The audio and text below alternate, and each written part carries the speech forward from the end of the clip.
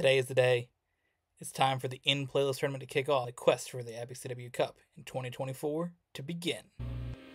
No, I crashed on my own just now. Exciting moments, a lot of action, all to find out who wins the Epic CW Cup.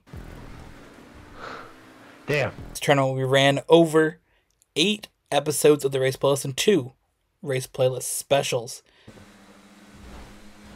Oh, Let's go.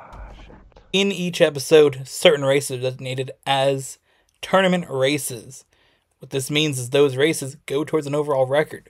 Whoever has a better record after 42 of those races will win the Epic CW Cup. Just look in the mirror. Damn, that was a goaded ass turn. Was it?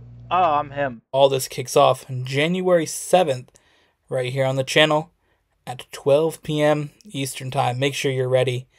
It's going to be a good one.